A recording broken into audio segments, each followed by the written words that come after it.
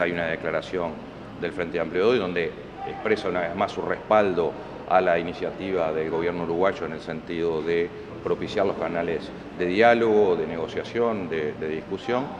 y hace un fuerte énfasis en la dimensión de la ayuda humanitaria, porque esto está planteado inmediatamente por la jornada este, que está planteada para mañana eh, de presión para el ingreso de ayuda humanitaria, eh, y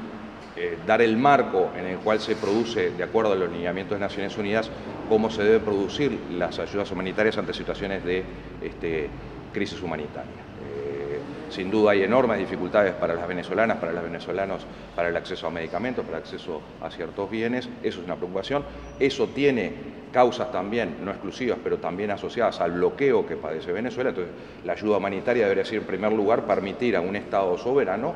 este, no estar bloqueado económicamente, permitirle comerciar y disponer de sus recursos este, ampliamente como cualquier Estado soberano. Y por otro lado, la preocupación de cómo se transitan las ayudas humanitarias. Quiero destacar aquí el pronunciamiento del movimiento de la Cruz Roja y la Media Luna Roja eh, colombiana de 4 de febrero, donde expresa que eh, la Cruz Roja colombiana no puede prestarse a un mecanismo de ayuda humanitaria como el que está planteado en la medida en que no cumple este, con los estándares exigidos por la propia Cruz Roja y Media Luna Roja y tampoco los estándares de Naciones Unidas.